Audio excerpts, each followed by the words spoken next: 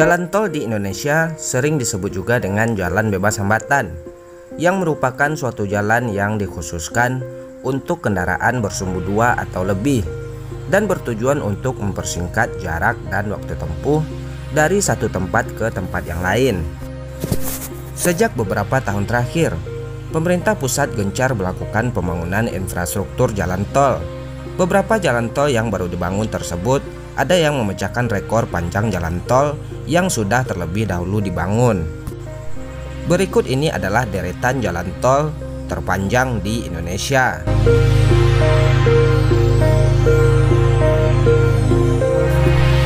Jalan tol terbanggi besar Pematang Panggang Kayu Agung atau jalan tol terpeka merupakan jalan tol sepanjang 189,2 km yang merupakan bagian dari jalan tol Trans Sumatera. Terletak di Provinsi Lampung dan Provinsi Sumatera Selatan.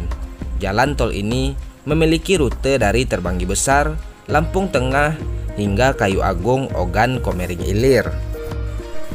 Adapun jalan tol ini menjadi jalan tol terpanjang di Indonesia saat ini dan merupakan lanjutan dari jalan tol Bakahuni Terbanggi Besar.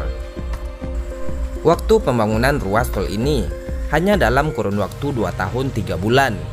Selain menjadikan tol ini tol terpanjang di Indonesia, tol ini juga menjadi tol dengan durasi pembangunan tercepat di Indonesia.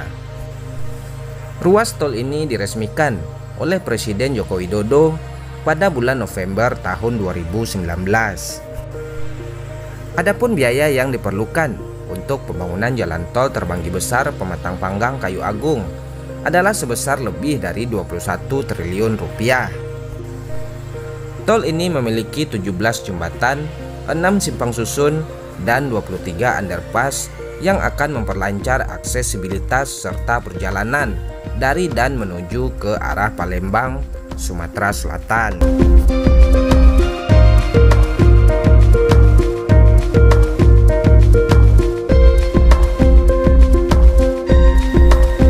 Tol Bekahuni Terbanggi Besar Ya, Tol Bekahuni Terbanggi Besar menduduki peringkat kedua sebagai tol paling panjang di Indonesia. Jalan tol ini memiliki panjang hingga 140,94 km secara keseluruhan.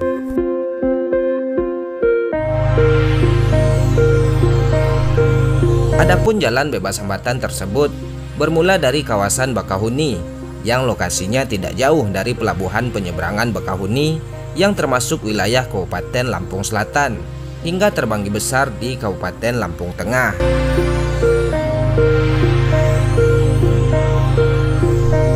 Jalan tol Bakahuni terbanggi besar digarap oleh PT Hutama Karya sejak bulan April tahun 2015 dan diresmikan pada bulan Maret 2019 dengan nilai investasi 16,7 triliun rupiah.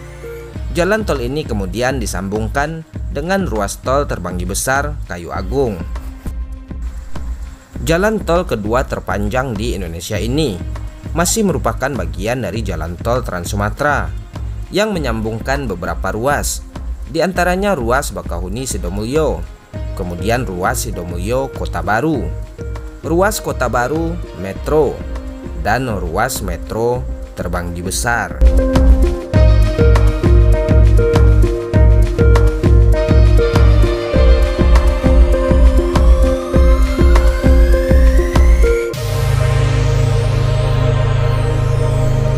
Jalan tol ketiga terpanjang di Indonesia, yaitu Jalan Tol Pekanbaru Dumai.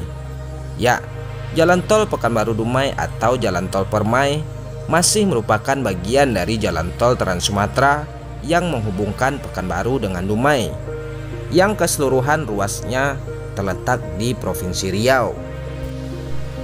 Adapun panjang Jalan Tol Pekanbaru Dumai yaitu 131,48 km yang melintasi beberapa kota dan kabupaten, di antaranya kota Pekanbaru, Kabupaten Siak, Kabupaten Bengkalis, dan kota Dumai.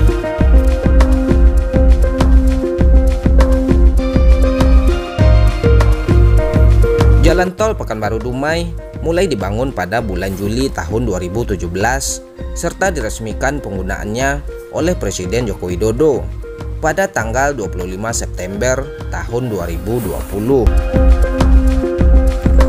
Jalan tol Pekanbaru Dumai masih merupakan salah satu ruas dari jalan tol Trans Sumatera.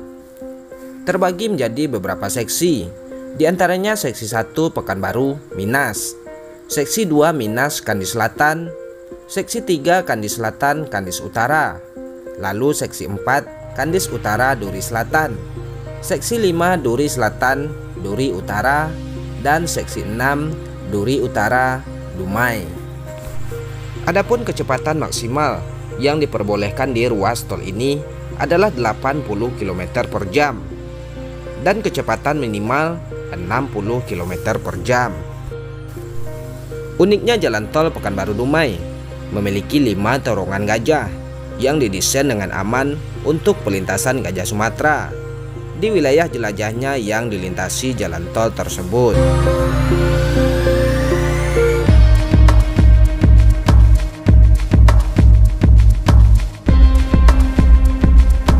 Selanjutnya ruas jalan tol Cikopo Palimanan atau disebut juga dengan jalan tol Cipali.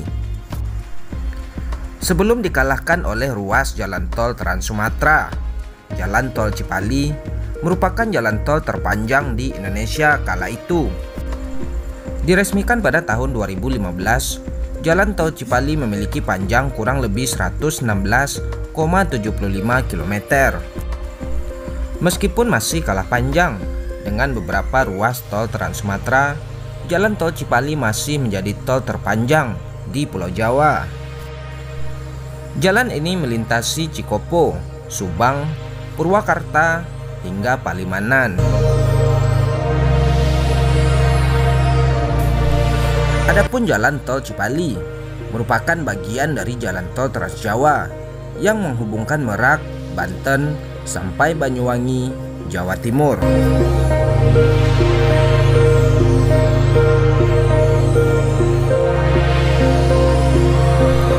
Jalan tol Jakarta Merak Jalan tol Jakarta Merak selesai dibangun pada tahun 1984 yang melintasi kota Jakarta bagian barat, Serang, Tangerang, dan kota Cilegon. Adapun ruas jalan ini menghubungkan Jakarta dengan Pelabuhan Merak dengan panjang kurang lebih 98 km.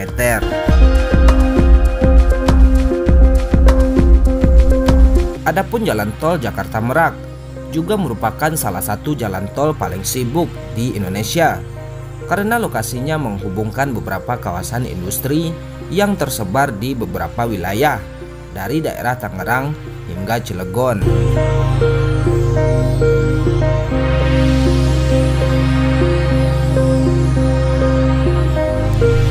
Selanjutnya jalan tol Solongawi. Ya, Jalan tol Solongawi memiliki panjang 90,43 km dan merupakan tol ke-6 terpanjang di Indonesia.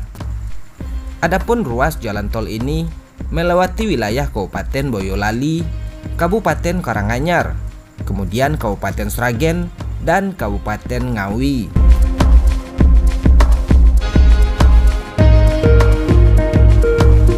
Jalan tol Solongawi terhubung dengan jalan tol Semarang Solo di sebelah barat dan jalan tol Ngawi Kartosono di sebelah timur.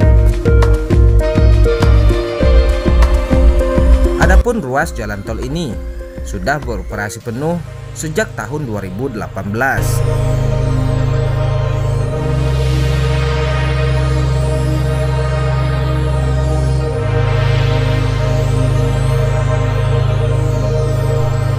Selanjutnya jalan tol Ngawi Kertosono. Ruas jalan tol Ngawi Kertosono memiliki panjang 87,02 km yang menghubungkan Ngawi dengan Kertosono, Jawa Timur. Jalan tol ini melewati beberapa kabupaten, di antaranya Kabupaten Jombang, Kabupaten Nganjuk, Kabupaten Madiun, dan Kabupaten Ngawi. Ruas jalan tol terpanjang ketujuh di Indonesia ini terhubung dengan jalan tol Solongawi di sebelah barat, lalu kemudian jalan tol Kertosono Mojokerto di sebelah timur. Adapun tol ini telah beroperasi penuh sejak tahun 2018 dan menjadi bagian dari jalan tol Trans Jawa yang menghubungkan Surabaya dan Jakarta.